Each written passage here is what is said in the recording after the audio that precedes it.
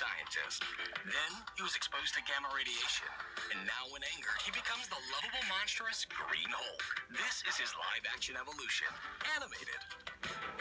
Bruce Banner first appears in the television series The Incredible Hulk, named David for some reason. As he searches for a cure to his Hulk affliction, he's pursued by a nosy reporter. When transformed, he appears as a tall, muscular man in green paint, with an exaggerated brow and a straight-haired wig.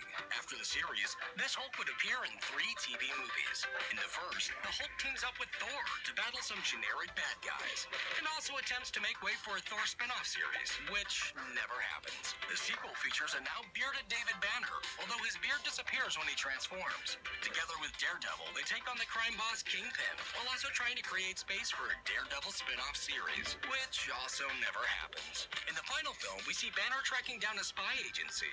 As the Hulk, he attacks their plane and in the explosion falls to Earth, succumbing to his wounds.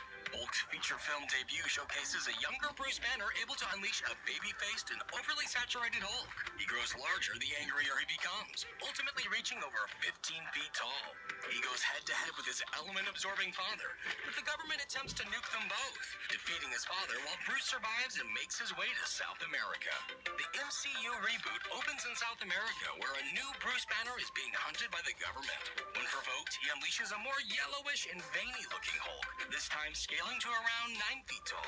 He takes out a DNA-spliced abomination and manages to hide away in Canada, where he tries to gain control of his anger and live in peace. In the Avengers, Banner somehow looks completely different, and when transformed, appears less yellowish and less veiny, with added chest hair, rounder facial features, five o'clock shadow, and a more slouched stance. He teams up with his fellow superheroes to save humanity from a puny god. Iron Man 3 features a sleepy Bruce Banner lending an ear to Tony Stark before coming back in full force for the Avengers Age of Ultron. The Hulk now wears stretchy purple pants and has more exaggerated facial features. As he's put under mind control, he attacks random civilians, only to be stopped by Tony Stark's Hulkbuster suit. He then helps take out super intelligent robots and promptly flies a ship into space, despite his girlfriend's pleas to stay.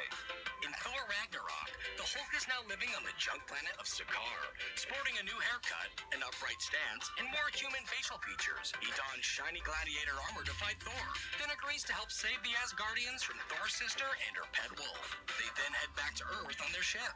Avengers Infinity War begins with Thanos boarding their ship mid-voyage and facing the Hulk in battle.